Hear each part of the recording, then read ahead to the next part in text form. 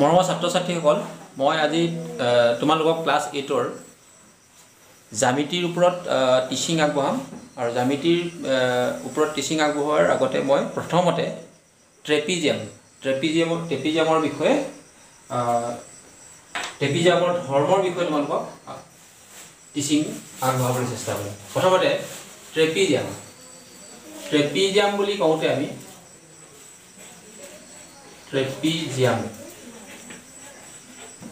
ইংৰাজীত আমি ইংৰাজীত আমি ট্ৰেপিজিয়াম বুলিয়ে কওঁ।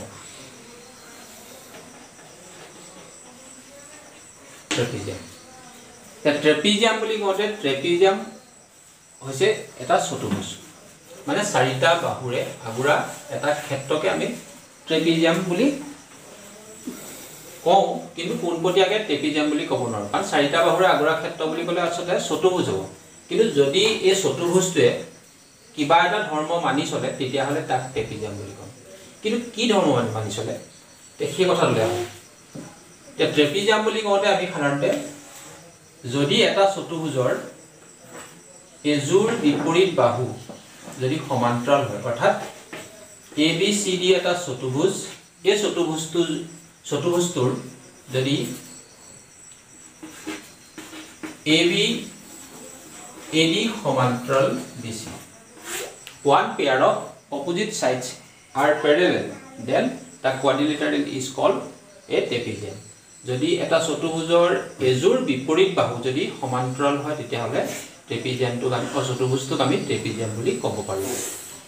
আকৌ কৈ দিছোঁ যে এটা চতুৰ্ভুজৰ এযোৰ বিপৰীত বাহু সমান্তৰাল হ'লে চতুৰ্ভুজটোক আমি ট্ৰেপিজিয়াম বুলি কয়। এযোৰ ওৱান পেয়াৰ অফ মানে অপজিট চাইডছ আৰ পেৰেলেল কিন্তু ইয়াত দুযোৰৰ কথাটো উল্লেখ হোৱা নাই। কিন্তু এযোৰ যদি সমান্তৰাল হয় তেতিয়াহ'লে দুযোৰো সমান্তৰাল হ'ব পাৰে। আৰু দুযোৰ হ'লে কি নহ'ব নেকি? এনেকুৱা ধৰণৰ প্ৰশ্নও আমাৰ আহিব পাৰে। এতিয়া ট্ৰেপিজিয়ামৰ ক্লাছ এইটৰ যিখন কিতাপ টেক্সট বুক সেই টেক্সট বুকত ট্ৰেপিজিয়ামৰ বিষয়ে উপপাদ্য তেনেকৈ নাই। যিহেতু ট্ৰেপিজিয়ামৰ লগত ৰিলেটেড যিবিলাক চতুৰ্ভুজ সেই চতুৰ্ভুজবিলাকৰ ধৰ্ম আৰু উপপাদ্য দিয়া হৈছে। গতিকে আমি ট্ৰেপিজিয়ামৰ লগত কি কি চতুৰ্ভুজ ৰিলেটেড হৈ আছে সেইবিলাকলৈ আহোঁ। প্ৰথমতে আহোঁ আমি সামান্তৰিক সামান্তৰিক সামান্তৰিক সামান্তৰিকটোক আমি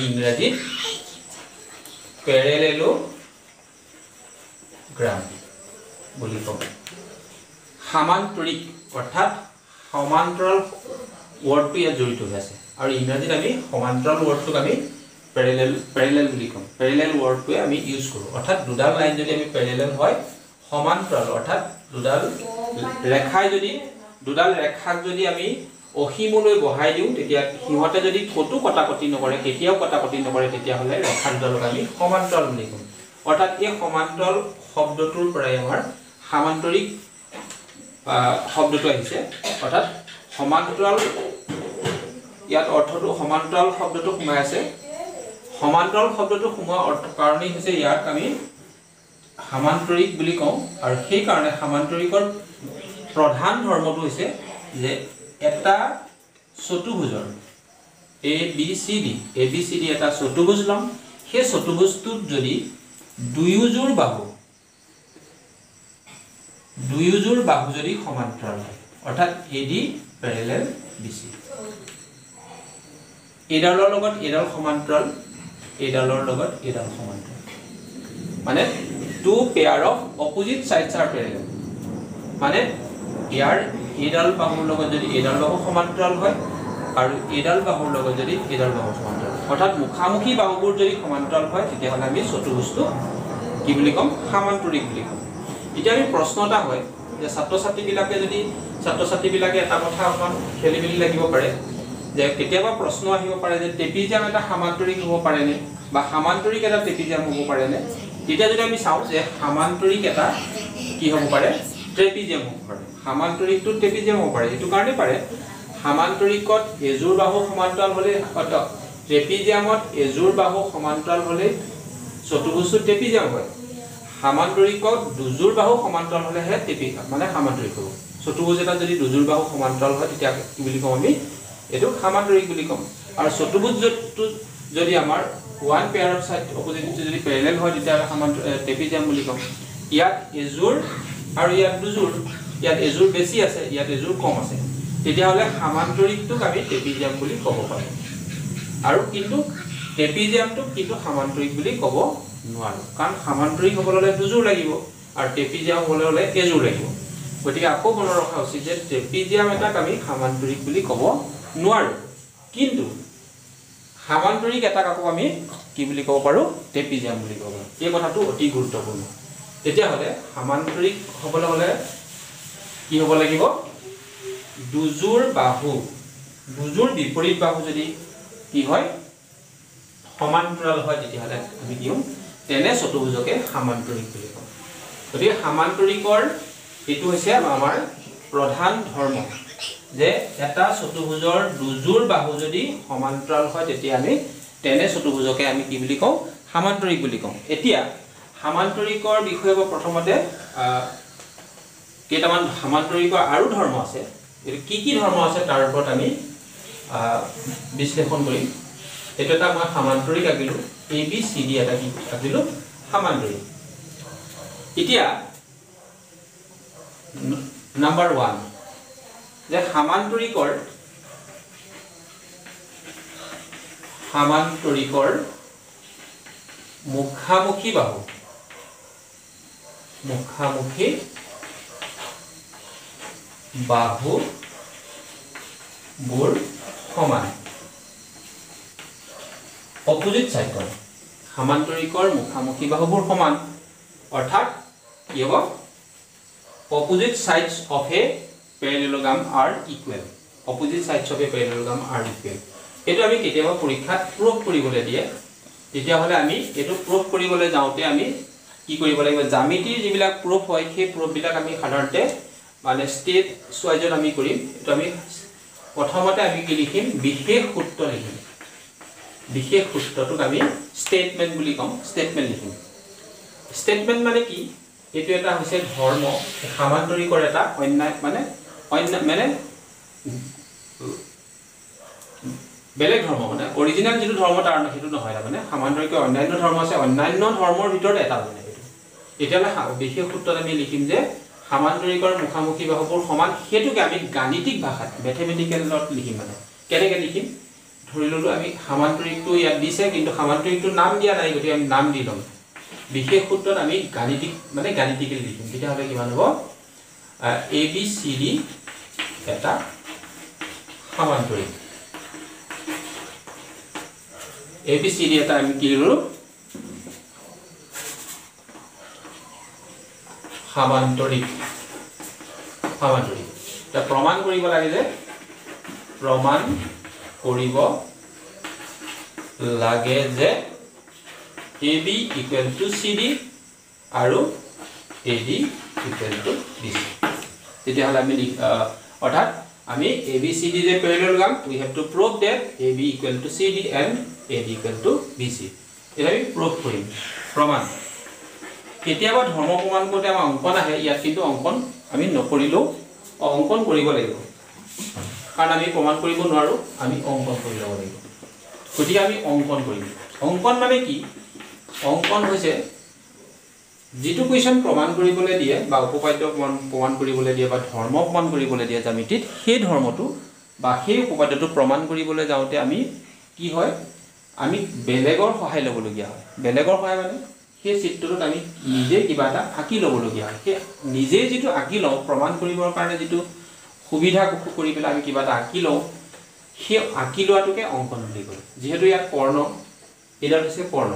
কৰ্ণ দুডাল আছে সামান্তৰিকটোত তাৰে এডাল আঁকি লৈছোঁ। কিন্তু সেই কৰ্ণডালৰ কথা কিন্তু কুৱেশ্যনটোত বা প্ৰমাণ কৰিবলৈ দিয়া ধৰ্মটোত এই কৰ্ণডালৰ কথা উল্লেখ নাছিলে।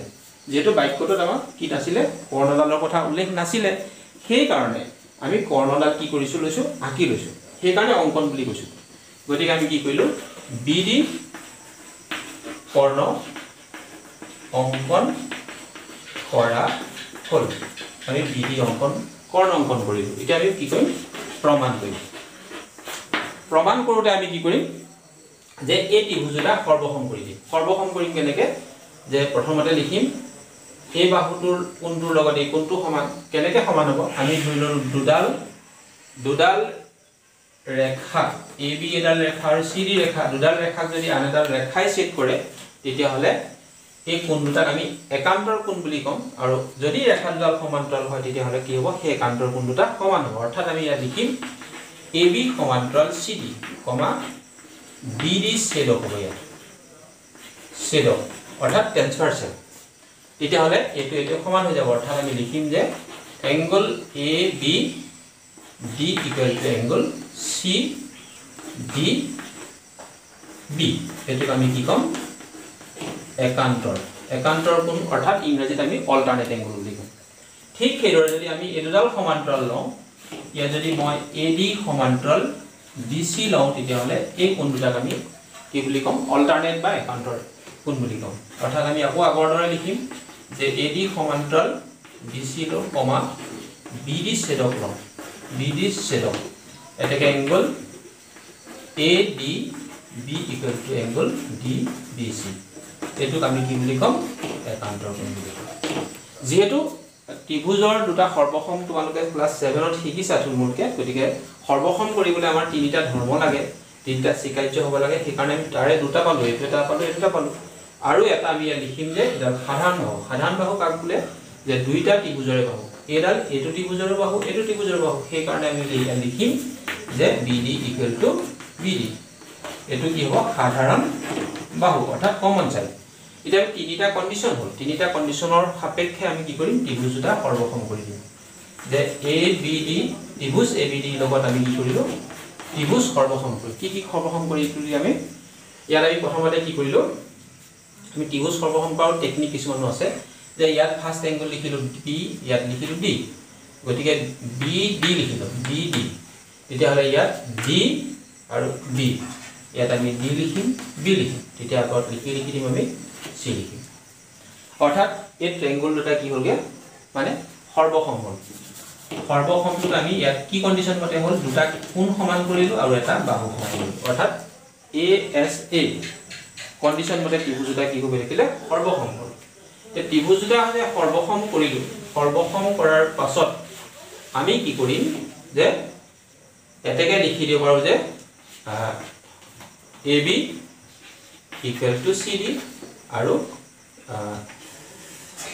A B A B equal to C D আৰু কি হ'ব B C equal to A D এইটোক আমি ইংৰাজীত চি পি চি টি বুলি কওঁ। এতিয়া এইটো C P C T C P C T full form হৈছে corresponding part of two congruent angle দুটা সৰ্বসম দুটা ত্ৰিভুজ যদি সৰ্বসম হয় তেতিয়াহ'লে কি হ'ব? ত্ৰিভুজ দুটা বাকী অংশবোৰো সমান হ'ব। গতিকে এতেকে আমাৰ কি হ'ল? বাহুবোৰ আমি প্ৰমাণ কৰিবলৈ দিছোঁ। লৈছিলোঁ যে এ বি চি ডি চতুৰ্ভুজ সামান্তৰিকটোৰ বিপৰীত বাহু সমান তেতিয়া আমি আল্টিমেটলি প্ৰমাণ কৰি দিলোঁ এইটো ইজুগেল এইটো আৰু এইটো ইজুগেলটো এইটো কিন্তু এইটো কাৰণেই সমান দেখা দেখালোঁ যিহেতু আমাৰ ত্ৰিভুজ দুটা সৰ্বসম কৰিলোঁ।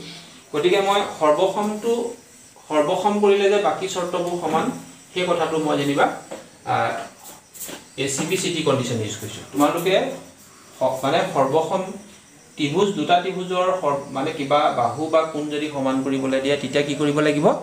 যে ত্ৰিভুজ দুটা প্ৰথমতে সৰ্বসম কৰাৰ চেষ্টা কৰিব লাগিব। সৰ্বসম কৰাৰ চেষ্টা কৰাৰ পিছত সৰ্বসম কৰাৰ পাছত তেতিয়া বাকী অংগবোৰ অৰ্থাৎ বাকী পাৰ্টবোৰ সমান কৰিব লাগিব। এই বাকী পাৰ্টবোৰ সমান কৰাকৈ আমি সেই ধৰ্মটোকে আমি চি পি চি টি অৰ্থাৎ corresponding part of two triangle বুলি কংগ্ৰেণ্ট ট্ৰেংগুল বুলি কওঁ। ইয়াক আমাৰ এই ধৰ্মটোৰ মতে আমি সৰ্বসম কৰোঁ। গতিকে ইয়াৰ পিছত মই সামান্তৰিকৰ অন্যান্য ধৰ্মবোৰ প্ৰমাণ কৰি দিম। গতিকে আজিলৈ ইমানতে সমাপ্ত কৰিলোঁ। ধন্যবাদ।